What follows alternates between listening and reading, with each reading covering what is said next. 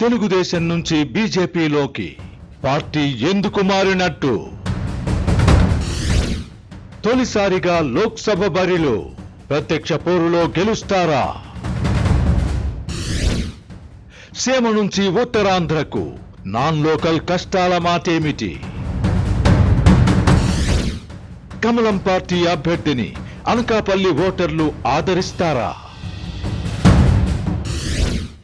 జనాన్ని ఎలా ఆకట్టుకుంటారు? వైసీపీని ఎలా ఎదుర్కొంటారు? మిత్రుల్ని ఎలా కలుపుకుపోతారు? అనకాపల్లి బీజేపీ ఎంపీ అభ్యర్థి సీఎం రమేష్తో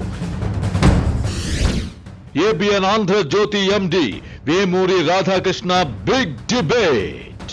ఈరోజు రాత్రి ఏడు గంటలకు మీ ఏబిఎన్లో.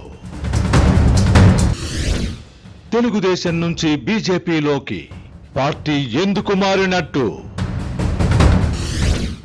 తొలిసారిగా లోక్సభ బరిలో ప్రత్యక్ష పోరులో గెలుస్తారా?